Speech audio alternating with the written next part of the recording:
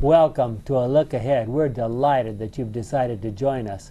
Hopefully, you may know by now that we study the Sabbath school lessons as prepared by the Seventh day Adventist Church. And this particular series of lessons is for the last three months of, de- uh, of 2014, the months of October, November, and December. This particular lesson is lesson number four in that series for October 25 of 2014. It's entitled Being and Doing. Being and Doing. What does that have to do with the book of James? Well, we'll find out. Uh, there's a lot of verses in here, and there's some interesting stories in here, and some very provocative things to think about. So we, we should start with a word of prayer. Our kind and wonderful Father, as we bow before you, we ask that you will guide us to understand the words here, to think about them, to take them to heart, to have our lives be transformed by the indwelling of your Holy Spirit. And may that be our experience as a result of our time here today as our prayer in Jesus' name. Amen. Amen. Jean Francois Gravelet better known as the Great Blondin, became famous for walking across Niagara Falls on a tightrope. In September of 1860, the Prince of Wales had witnessed Blondin's crossing of the falls with an assistant on his back. And there was no television, not even any radio in those days, so you had to be there to actually witness it. After the walk, Blondin turned to the British prince and offered to carry him across the falls too. Although the prince had heard of the man's skills and had even just seen them in action, he was still not ready to place his life in Blondin's hands. The point is, of course, hearing and seeing are not enough when it comes to a relationship. In our case, we're talking about a relationship with God. Do we really believe that God's will is better for us than our own ideas? If I asked us to all, everybody to raise their, who believes that, hold their hands up, I think probably everybody would. But do we live accordingly? There's a difference between believing it and actually practicing it. Mm-hmm. Well, there's another part where you have to figure out if it's really God's will or not. Yes, and course. figure out if it's His idea or yours. Yes. How do you know? How do you know whether you're go- acting on an idea if it's God's or yours. Well, of course, that's why we need to focus on the life of Jesus. You know, that's and the scriptures. The scriptures is what He's given us to to know what has, what His ideas are like. That's exactly what it's there for. And do we believe this statement? This is one that you must have heard many times. It's found in a number of places, but I'm I'm quoting out of Desire of Ages 224, paragraph 5. God never leads his children. Now, it doesn't say his children never go. They go wherever they want to go. but God never leads his children otherwise than they would choose to be led if they could see the end from the beginning and discern the glory of the purpose which they are fulfilling as co workers with him. Desire of Ages 224, paragraph 5. That's providing you have faith to believe that. I'm, I'm just asking. I wonder if that's what Jonah thought. Good question. he didn't seem to be too pleased that they're at the end. You mean Jonah's kind of like the rest of us? Well, I don't, I don't know about that, but I, you know, I just. You know, the Jonah story. There's a lot of details to that story that a lot of people don't recognize. If you go back to Second Kings, Jonah was actually working for the king. This guy had a high level position. And I'm sure when God spoke to him, well, the second time when he finally decided to go, he, he finally said, Well, God really wants me to go there. I'm going to go and I'm going to conquer Nineveh all by myself. I'm going to come back and they're all going to be dead. And he came back and they were all converted. Converted. Alive. Well, I know, but he still, even at that, he still wasn't, wasn't, couldn't see the glorious end that God had from the beginning. It seems like, and that's. A, uh, I'm sorry to bring that confusing illustration into the table. Well, and here, here it is. James, James 1 23 and 24, we're talking about whoever listens to the word but does not put it into practice is like a man who looks in a mirror and sees himself as he is. He takes a good look at himself and then goes away and at once forgets what he looks like. What kind of a deal is that? Someone once said this about his enemy I see him every day when I'm shaving. You talking about his whiskers? Don't think he's talking about the whiskers. Okay. Is that why you're growing a beard? Not that either. you don't have to look in the mirror. well, do we really recognize this fact? Do we agree with it? I mean, we, we talked last week about the fact that what happens? Our evil desires lead to sin, which leads to death. How many of us want to go there? So we're supposed to look in the mirror and hate what we see in the mirror? I'm asking you. I don't know because I think part of the part of the thing is that we have to forgive ourselves. Well, remember, and this is a hard thing for selfish human beings to recognize, we can't and we don't do the necessary changing ourselves. How do we get changed to be a part of God's kingdom? well, what are you talking about changing here? We're saying the only way you can really be changed is to let the Holy Spirit do it. And you do that by focusing on what He's written, what He's inspired people to write, the Bible, Well, but, by prayer, but, by witnessing. but if you aren't changed, then you aren't inclined to listen to the Holy Spirit. So there's got to be a change before you get to the changing part. The Holy Spirit, and uh, I'll just take a second on this. The Holy Spirit works at four levels in the lives of everyone who cooperates with Him, and even those who don't. The most basic level, He keeps us alive. There's plenty of verses in the Bible. Look especially at Acts 17. Plenty of verses in the Bible say that God is the one that keeps us alive every heartbeat.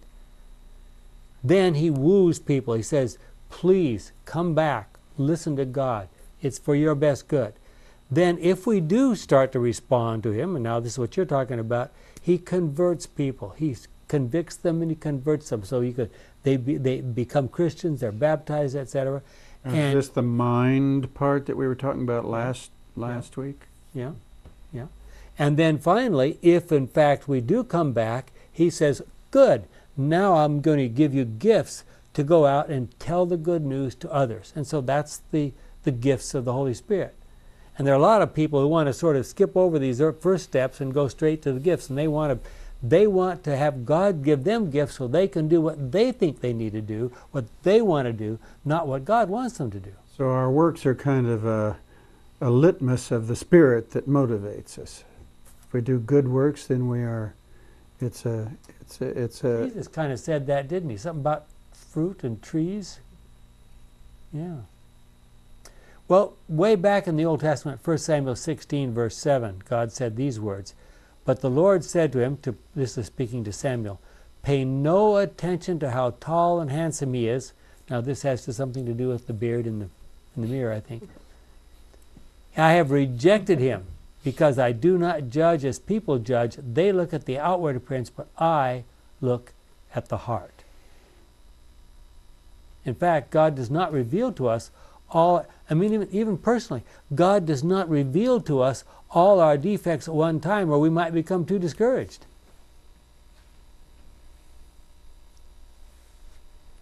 Why, why so? Why are we so defected? oh, no, why are we no? And why do we we kind of stay on that that we're defected and we're bad and we're sinful and we're all this? Uh, wouldn't it kind of help us too to kind of see the good side that God so loves us? I think we should kind of have both of them. God so loves us that He would even die for one of us and all this and that. Because if we just keep telling people we were terrible, you this and that and the other one, some people might say, "Well, what the? You know, I'm bad," and there it is. You know, mm-hmm. because That's I- why He doesn't yeah. reveal us too much, too many of our sins all at once. but think of a couple of examples. Think of Peter, who on, on, on the night before the crucifixion? Think of the rich young, young ruler by contrast. What, what, what was the difference between those two people? I mean, here's Peter, he says, Man, Lord, I will die with you. And a little while later, he's cursing and swearing that he doesn't know him. And the rich young ruler, he says, I want your help. Here I am, you know, bless me. And what did Jesus say to him? Get rid Go of and sell everything you have and give to the poor and come back and follow me. Give up the evidence that you're blessed by God. Yes. Hmm. And what was the final result from those two people? Peter realized he needed to change.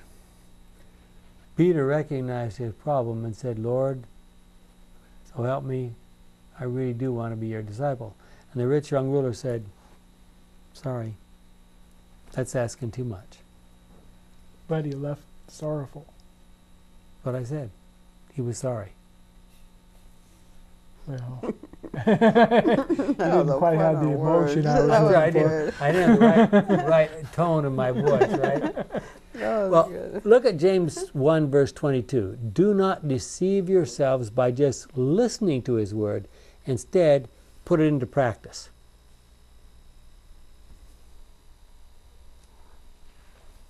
In the King James, it's do not. There's, is there a difference between doing the word and being a doer of the word? Question of depth, isn't it? Mm-hmm. Of intent also, no? It's the Pharisee in his in his nice colored robes and all this stuff spouting off as against a simple man with nothing doing all the miracles and everything. Well, here's a here's a statement that just blows me away.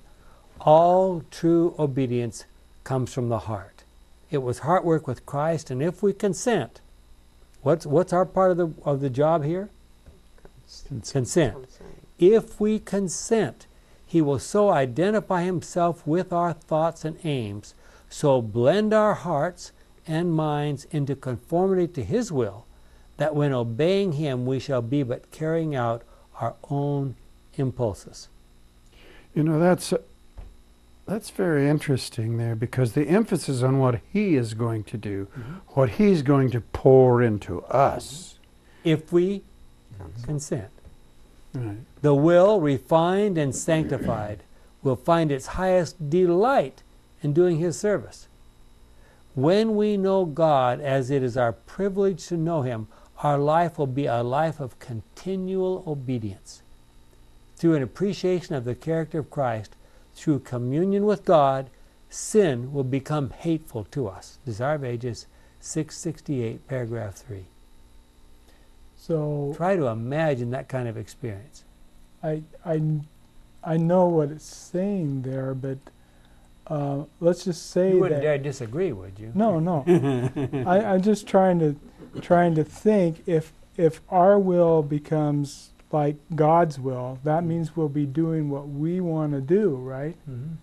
So if somebody turns around and says that you're selfish, even though you're doing that, well then, um, how are you going to be able to argue with him? I would think if someone makes that kind of a claim, you'd want to ignore him. Well, you know, we're we talk about selfishness all Yeah. the time, Yeah. and um, and if our will turns to out to be God's will, Mhm.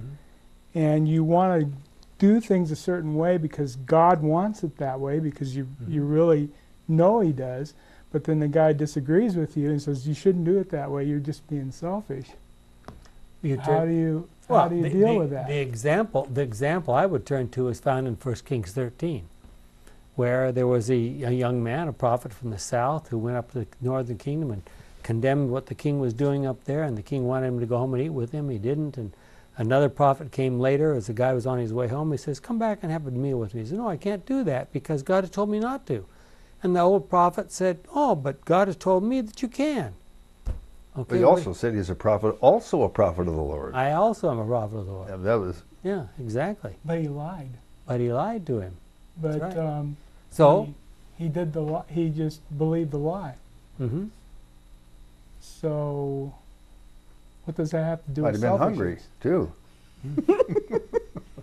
Well, What a me- snicker. Okay, I- I- we're gonna we're gonna get s- a little bit further down here. We're gonna read some quotations I think are relevant to your point. Okay. But um, well, maybe we just better wait for that. Okay. In Luke six twenty seven to thirty eight, in uh, sort of a version of the what we call might call the Sermon on the Mount, Luke talks about loving your enemies, giving freely, not retaliating, and being merciful. Are any of those things natural for us as, as human beings? Last Sabbath, my son kept asking me after after class. Uh, he kept saying, "Does God still love Satan? If so, why? Why is He merciful to him?" He kept he bothered me so much. I said, "You need to. You should have asked uh, Dr. Hart in class. I don't." um, he kept asking me, and I said, oh, "That really kept resonating with him." I'm like, huh. Our only safety is in continually focusing on the life and character of Jesus Christ. When we turn our eyes away from Him and to ourselves, for whatever reason, we lose. Can you think of a time when you did something because you were required to do so? How is that different from doing something you really wanted to do? Now, um, if you deal with teenagers, it's not too hard to think of an experience like this. Well, the oldest thing I can think of is my parents making me finish my plate. Yes. Okay. You're thinking of the starving children on the other side of the world. Yeah, and now I can't can't leave the plate without. Does something which comes naturally is doing something which comes naturally is a pleasant task. Doing something that we just are just required to do is never truly pleasant. So, what about that? Now, think about that for a moment. If you want to do it, it's pleasant. If you don't want to do it, it's not pleasant. So, if we knew that certain things were God, what God wants us to do, then if we could learn to want to do them, they would be pleasant, right? Uh, If you that wanted to do them, they would be pleasant. yeah? Isn't that- I mean, isn't that true? So, are you coming So up with a formula of how we're going to be happy? I'm, I'm suggesting to you, if we could learn to want to do everything God asks us to do, We'd be happy. we would be home free, right? Now, let me ask you this question: Okay. Jesus did the will of the Father to the nth degree, hmm but why was he known as the God of sorrows? Well, because there was other people, uh, particularly the devil, who absolutely wanted to stop to prevent that from happening. Okay, so that may not work all the time. What you're talking about? Mm, most of the time. Most of the time it will. So. okay. Well, here, here, Ellen White puts it very bluntly in these words, and this is a passage that a lot of people don't read either. It's also fa- it's found in Christ's Object Lessons, page 97, paragraph 3. The man who attempts to keep the commandments of God from a sense of obligation merely.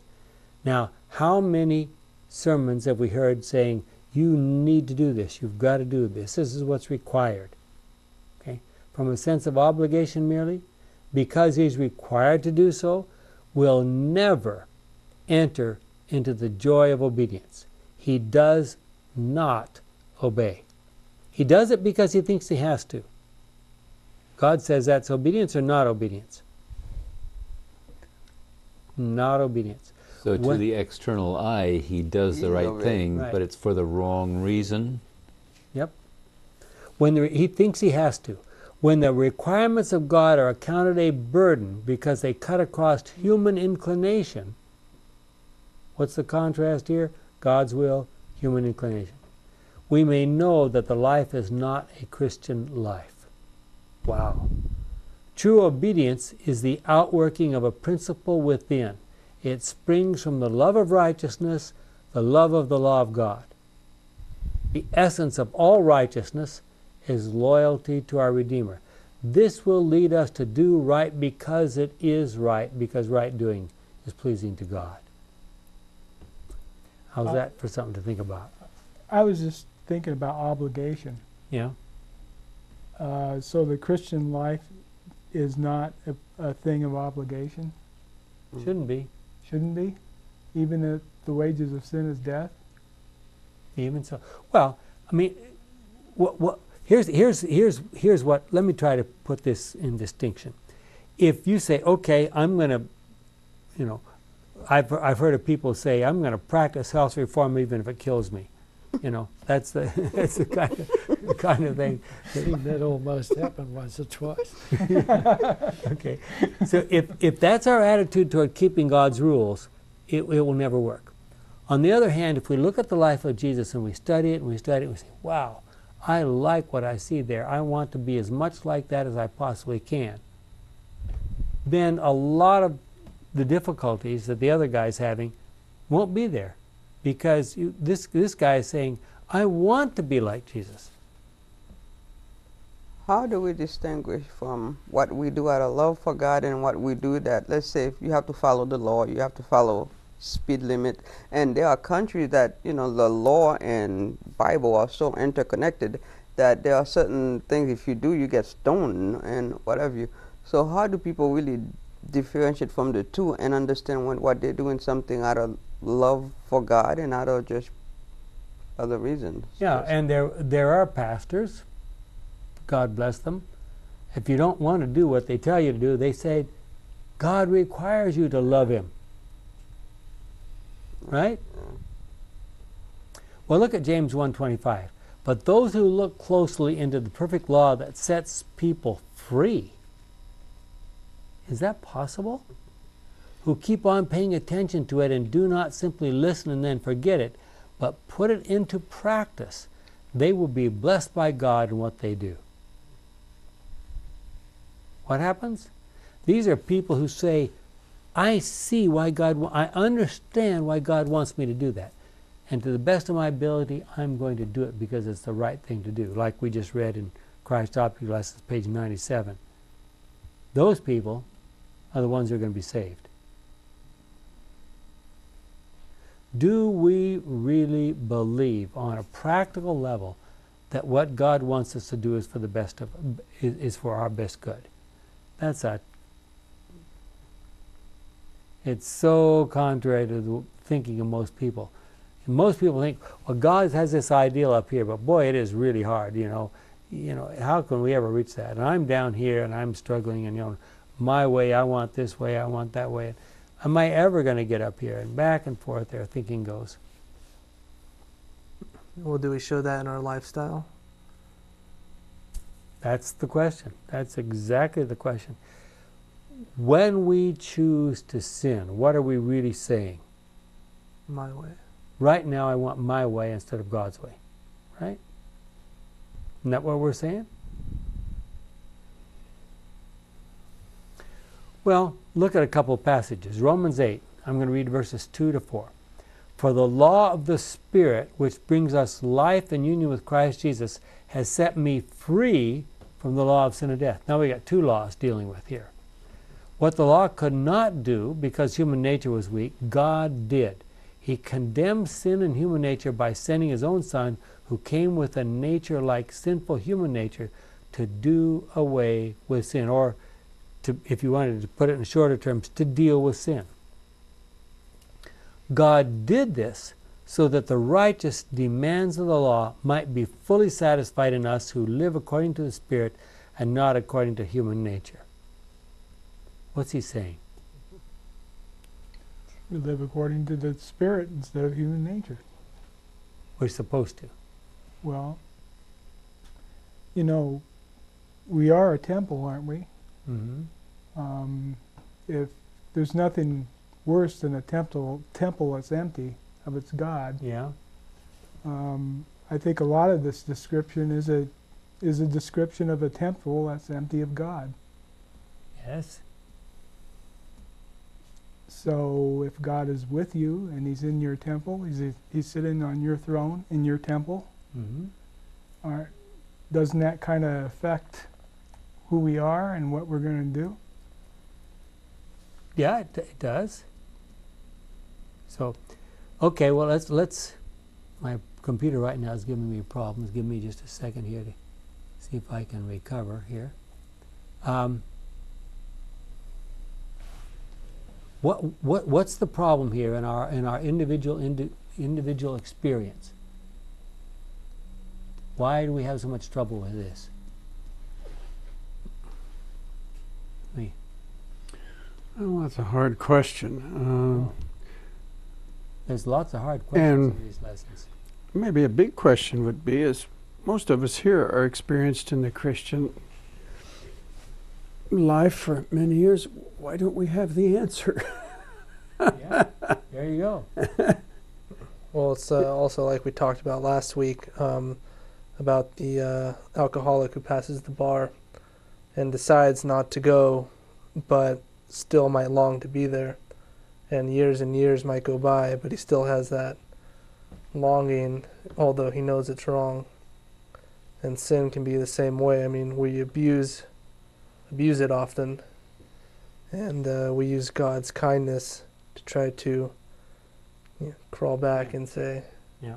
"How are we gonna? Let's let's give it one more shot. We've Right. changed this time." Yeah. Unfortunately, so many Christians think that they can go ahead living their sinful lives and just thankful that God forgives me. I'm so thankful that God forgives me. I'm so thankful that God forgives Yeah, we're thankful, but, you know, couldn't we maybe pick a different tune after a while?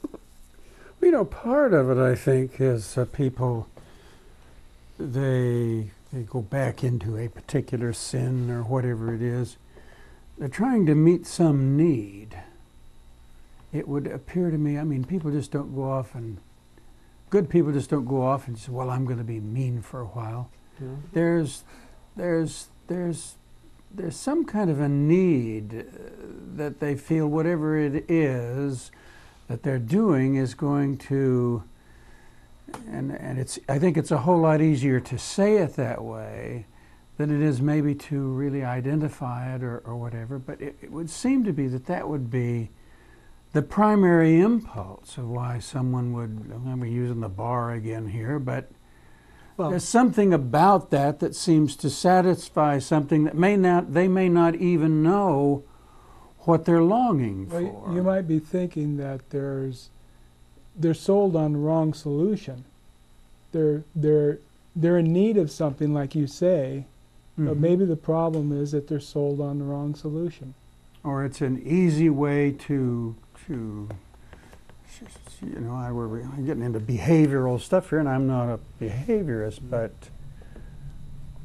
It's, it's, people do, they like to do what they want to do. So if we could make, if, if we could figure out a way to want to do what's right, we would be home free, right?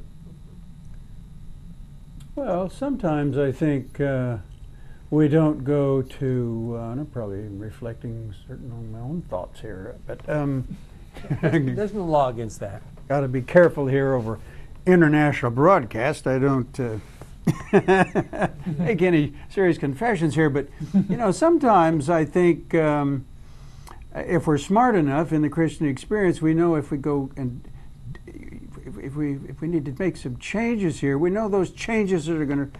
We know God, and He's going to. He's going to want us to do something, some things that we just don't particularly want to do. There you go. That's the problem. And uh, other times we don't realize that, but you know, if I come out of my little hole here, my little, oh my goodness, now I'm going to have to do all of this stuff that I really don't want to do. I don't want to, whatever it is. I'd rather stay in bed on Sabbath morning. You mean something like that? Well, well, what about prison ministry? Yeah.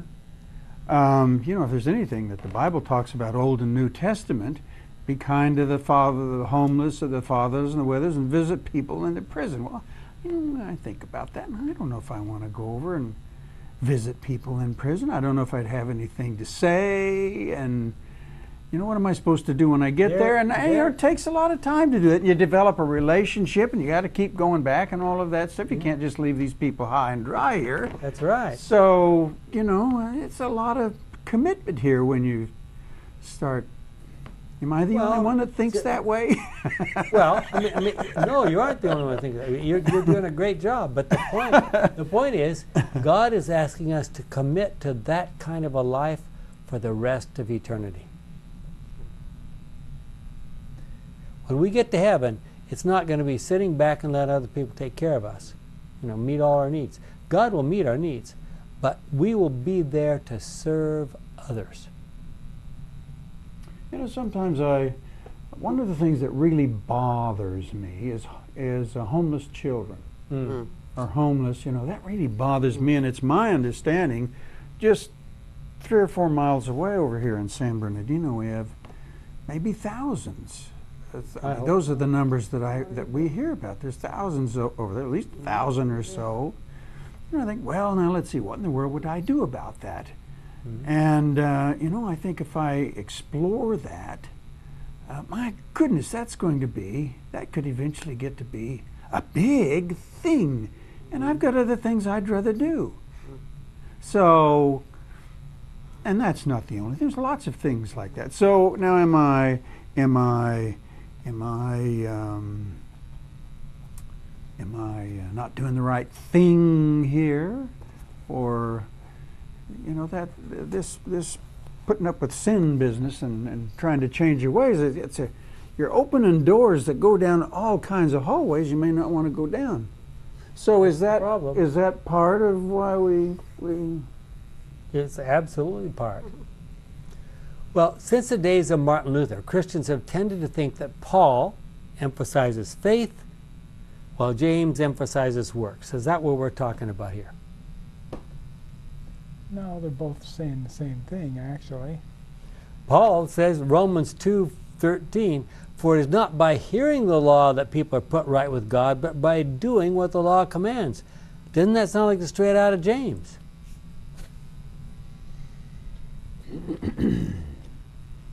well, for many of us, it may be true that someday in heaven we will begin to realize the full impact of these words. And hopefully, we will be able to go up to God, give Him a big hug, and say, Now I understand why you asked us to do all those things. Now I do them because I want to, and because they are the right things to do. Think that could happen? Are we truly ready to recognize that God's will for our lives is better than our own will for our lives? Is there, is, do, wh- when you do something really good for somebody else, is there any reward in that? well I hope evident, evidently not if you're if you're not doing doing it because you want to. You feel like well, you let's, have let's to. say once in a while you really want to, then what happens? I think you get a feeling of satisfaction. Sure. You know, I think I think we're kind of limiting this helping other people to some stuff that we don't want to do. I mean, there's a lot of stuff we do to help people that we do like to do. Okay. Just even business. Mhm. When you give a person a good product and your stuff really works well and they're really happy about it, that that helps you inside. Mhm. When you when you give a person a fair deal, well that that helps you too. It's all doing things for your neighbor. Um, focusing on doing the dishes for for s- somebody in the soup kitchen, well, you know that's that's good, but that's only a small part of it. Yeah. You know. Is it really possible that the laws of God are the laws of freedom? Um, we already read one verse. Let me read a couple more. Look at John 8, verse 36. If the Son sets you free, then you will be really free. John 13, 34 and 35. And I quote, And now I give you a new commandment love one another. As I have loved you, so you must love one another. If you have love for one another, then everyone will know that you are my disciples. Does that sound like freedom? L- look at John 15, 12. My commandment is this love one another just as I love you. Is this freedom from or freedom to? Well, that's the question. Everyone who gets to heaven will be able to do whatever he wants, he or she wants to do at all times simply because what? You want to do the right. He or she will never want to do anything wrong. W- would it be a bad thing to start practicing that now? Hmm? Oh, I laugh because I mean you may want to, but you don't. You may not be able to do it consistently. Well, we Yeah, is no. that is that is that really I said possible? Practice. I Yeah. said practice. I didn't say do it all. Yeah, we got in the. I wasn't here when we you were talking. You guys were talking about the drunk and the boy and what have you. Uh, when the drunk decide not to go in the boy, so he's enduring until he overcomes. Be- yeah, he does endure because there's also a physiological thing going on too. Because someone who's addicted to a substance feels something and they're so afraid to feel what they're feeling, they go ahead and do it. So there's so many things and their mind is not working right. There's so many things involved. That's uh, that's why a lot of people leave those kind of things. It is through God and God alone. It's not just yeah. Talk talk to you talk to the people who are going through the twelve step program. It's not easy. Not easy.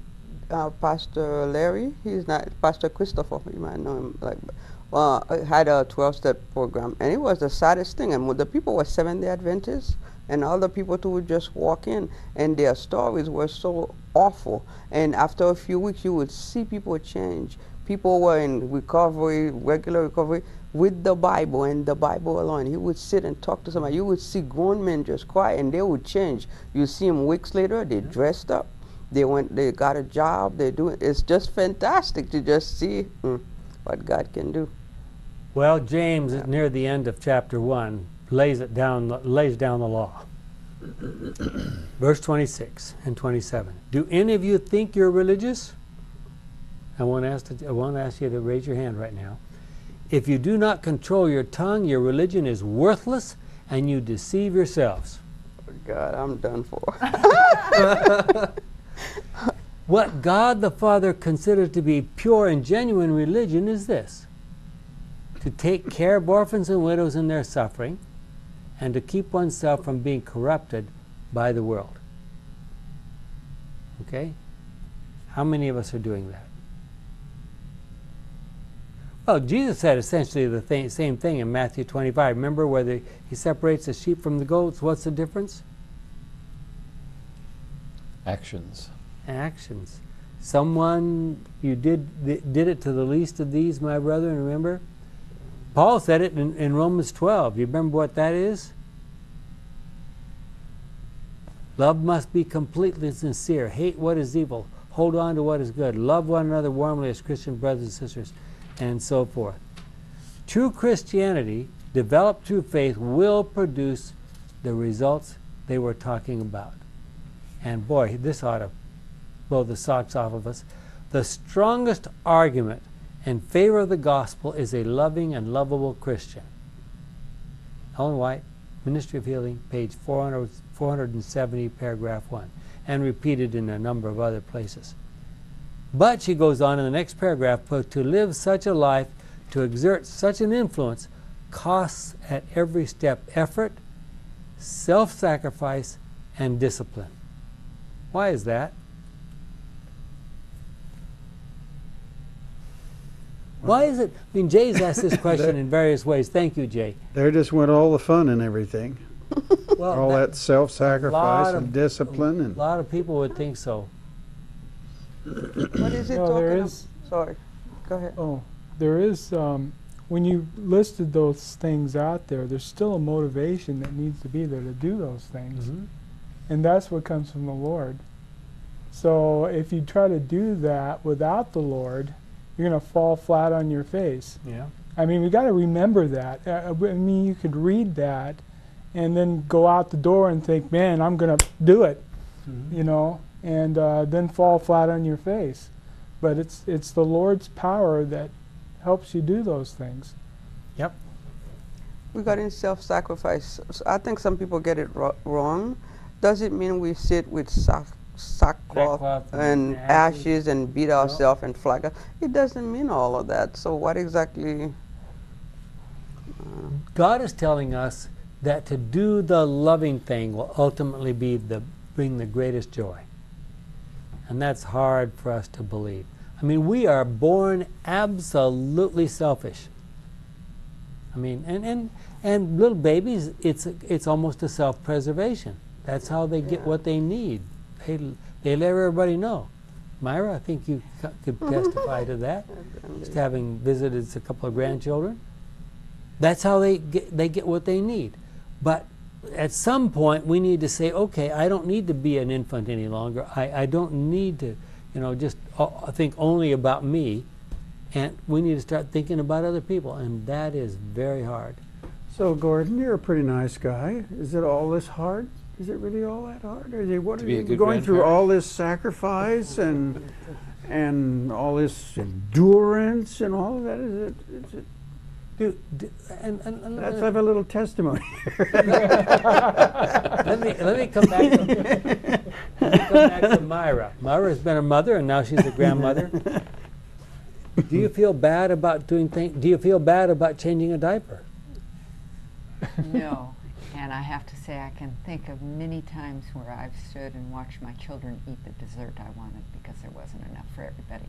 Okay. You know, but I was more than happy for them to have it. That's you do it because because you love them. yeah. Was that good for them to have that dessert? Well, maybe it wasn't dessert. so now, when we're t- when she, we're talking about sacrifice, that's the sacrifice. Yeah. Well, that's no big sacrifice. Okay, then it's easy to be a Christian.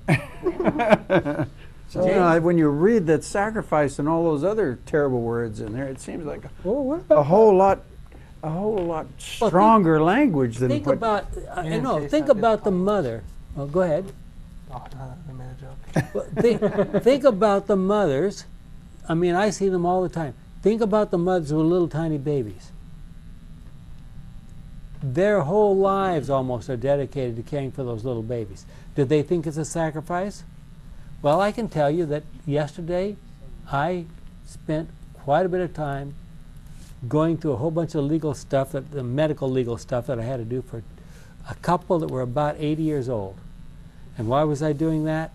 They were adopting their 10 year old granddaughter that they had been caring for since she was one month old.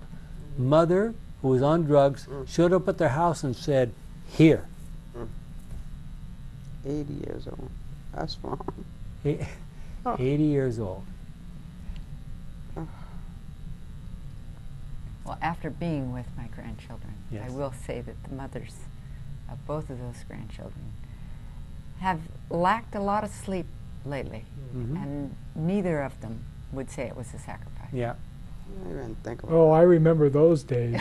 The only thing, I don't know about the sacrifice though, because sometimes the baby would start crying and all of a sudden somebody would shake my arm.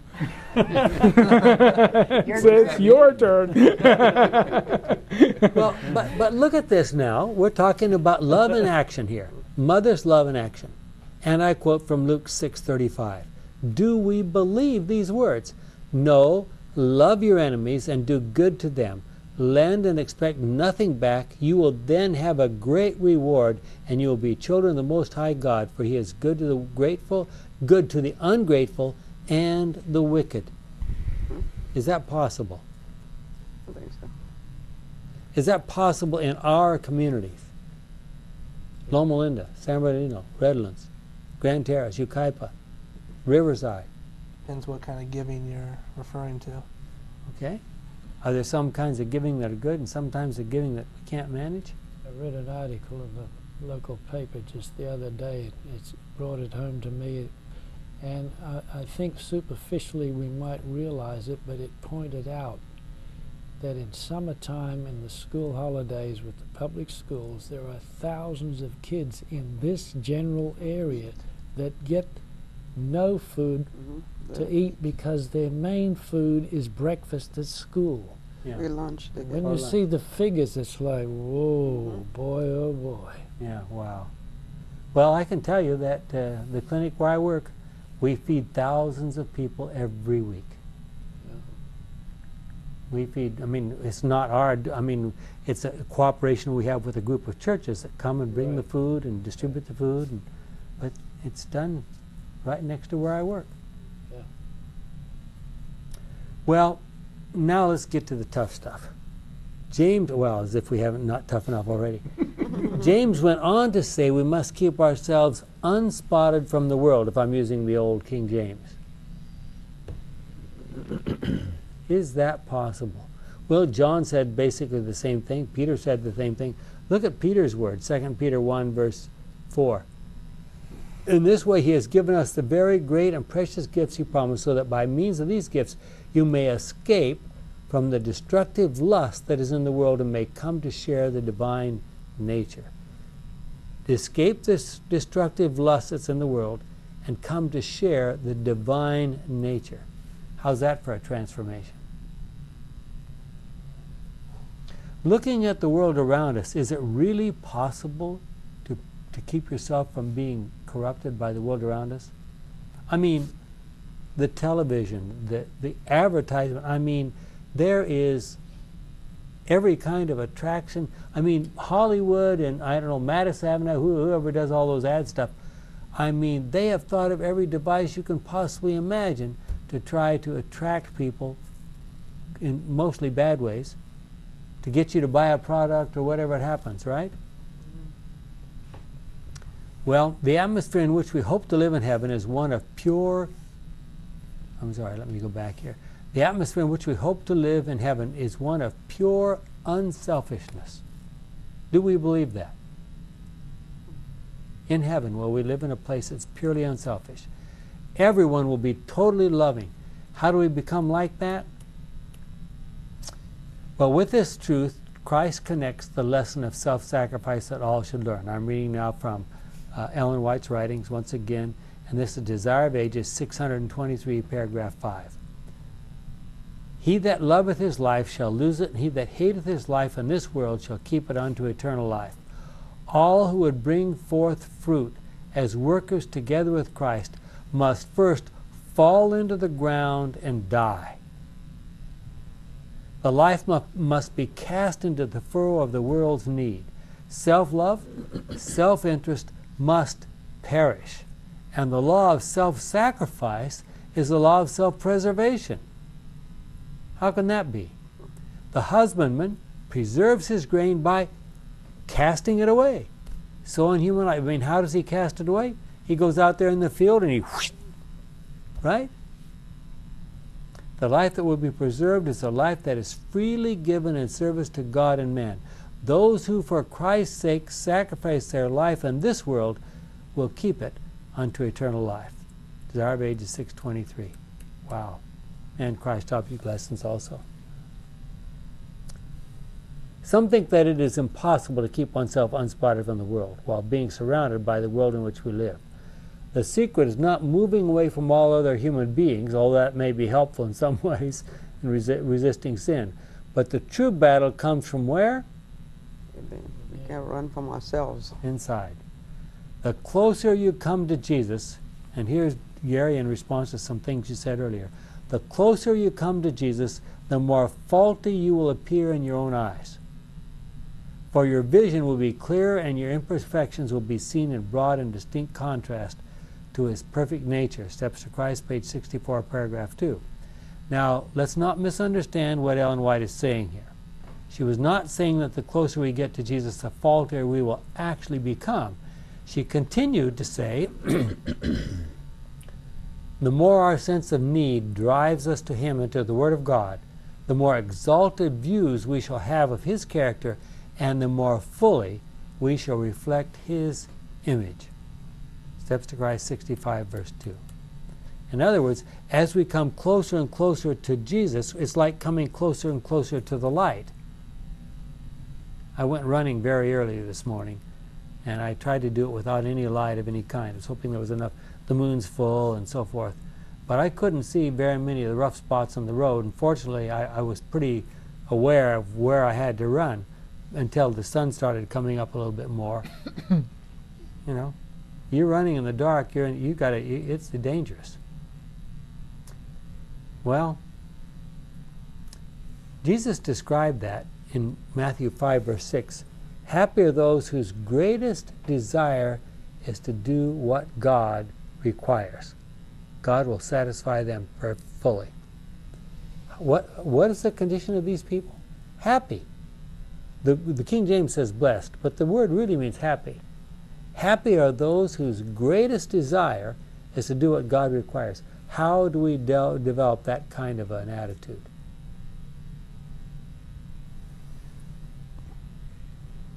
Don't everybody speak at once. You mean No, the, it's the desire that Christ wants? You know, he- this is Sermon on the Mount. This is his premier sermon. Here it is, Matthew 5. Happy are those whose greatest desire is to do what God requires. God will satisfy them fully. Well, Gordon, I'm going to pick on you again.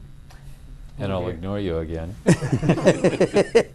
Isn't it largely your happiest desire to do to make your wife happy? No, oh my goodness, he's pausing. that is very important. I'm waiting to hear what he's saying. the wrong, and the grandkids. wrong question there. Minefield, that one. I guess what I where I was trying to lead with a with a with an immediate example here, and I don't think we should interpret from Gordon's pause for thought there that, that had any reservations. Looking for just the, The way right word. perfect the answer. um, but it's you know it's it's a relationship with this Yeah. with this, and when you when you uh, when you develop that relationship, you you just I- it's diff you know it's really you can put it in human words, but it's difficult to really even explain. Do you remember the story in John 4 where Jesus met the woman at the, at the well in Samaria? He said it gave, gave him such joy to speak the truth to people and to convert them to Christianity that he would rather do that than eat.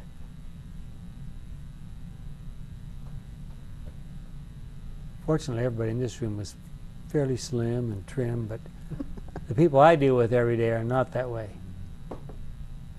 Well, if we follow this plan for our lives, and now I quote from Steps to Christ, page 57, a change will be seen in the character, the habits, and the pursuits. The contrast will be clear and decided between what they have been and what they are. You, you talked about that, the 12 step program. The character is revealed, and here's some words of encouragement. We needed to finish with some words of encouragement, right? the character is revealed not by occasional good deeds and occasional misdeeds, but by the tendency of the habitual words and acts. Which way are we headed? Up or down? Chri- Steps to Christ, page 60. Instead of releasing man from obedience, it is faith and faith only that makes us partakers of the grace of Christ, which enables us to render obedience. So, in other words, the only way to really obey is to come to understand Jesus fully and to, to follow his example until we say, hey, you know, that's the right thing to do. I like that. As Jesus was, I'm reading on now, Our Father Cares, page 69. As Jesus was in human nature, so God means his followers to be. In his strength, we are to live the life of purity and nobility which the Savior lived. Wow. And a story from our lesson as we finish up from our Bible study guide. Police were trying, this is from the teacher's Bible study guide. Police were trying to place electronic eavesdropping devices in an office where they suspected criminals were working. The only problem, vicious Dobermans surrounded the compound. So the police each night would feed the dogs hamburgers. At first, they were tossed about four, six, five or six between the bars. Before long, the dogs were not only eating the burgers out of the officer's hands, but they were licking the officer's uh, hands. Um, but they were licking the officer's hands when done. Thus, with the guard dogs tamed, the police were able to infiltrate and plant the devices. What lesson can we take from this story about how we can, um, how we, if we are not careful, can let our own guards down? Are we prepared? And here's what the lesson wants us to recognize. Are we prepared to, one, recognize that the root of temptation comes from our own lusts and, des- lusts and desires? Two, discern that God's ways are better for us than our own natural ways? And three, admit that in our own power it is impossible to resist temptation, but with God all things are possible. Are we prepared to experience God's power in our lives? Have you experienced the joy of actually being able to conquer some of your natural evil tendencies in God's power? James 1:21 suggests that it is only by having God's word implanted in our hearts that we can successfully live the Christian life. Is that true? Well, we've suggested faith is the key to God's plan of salvation. He will transform us and our behaviors will demonstrate what God has done in our lives. Those behaviors will be basis will be the basis on which God carries out his final judgment and you know that stuff all the way through the Bible. Uh, Ecclesiastes 12 verse 14, 13 and 14, Matthew 16, 27, 1 Peter 1, 17, Revelation 20, 12 and 22, 12. So James is not so far off, is he? A lot of other Bible writers agree with him. And now, a final word from Ellen White. It is not possible for us to drift into heaven. Those who refuse to cooperate with God on earth would not cooperate with Him in heaven. It would not be safe to take them to heaven. Christ Object Lessons, page 280. Many of you will remember Dr. Maxwell. He used to talk about people who were safe to save. I didn't know I would find that right here in Ellen White's writings. There are people who think that we can legally demand our right to enter heaven. Some of us have heard him say so. But this says it's only safe to take people to heaven who really want to do what's right. In the past, Seventh day Adventists have often been characterized as hopelessly legalists hopeless legalists. In our day, some seem to have gone to the opposite extreme and do not even want to talk about keeping the law. Do we really believe that it is a law of liberty, a law that sets people free? So, where are we on that spectrum? Legalists? Lax. We have to recognize that, as Paul said in Romans 6, verse 6, as long as we allow our natural human selfishness to rule, we will not make progress. The old man must be crucified. Are we really are we ready to allow God to make those necessary changes in our lives? What does it mean to be a crucified Christian? Does it mean to be a loving Christian? It's your call.